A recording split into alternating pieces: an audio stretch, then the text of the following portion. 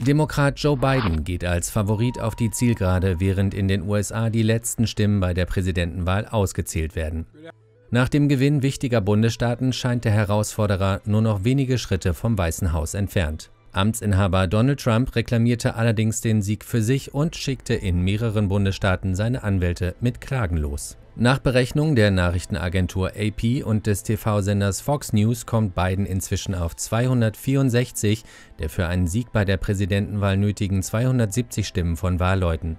Demnach bräuchte er nur noch einen Bundesstaat für sich zu entscheiden, um zu gewinnen. Als offen gilt das Rennen noch unter anderem in Pennsylvania, North Carolina, Georgia, Arizona und Nevada.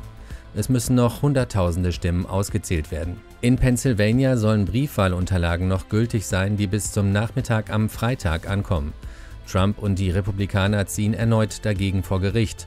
Trump will auch in Michigan, wo Biden führt, die Auszählung aussetzen lassen. Biden selbst sah sich vor Trump.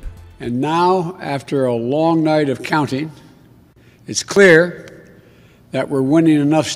Jetzt nach einer langen Nacht des Zählens ist es klar, dass wir genug Staaten gewinnen, um 270 Wahlstimmen zu erreichen, die erforderlich sind, um die Präsidentschaft zu gewinnen.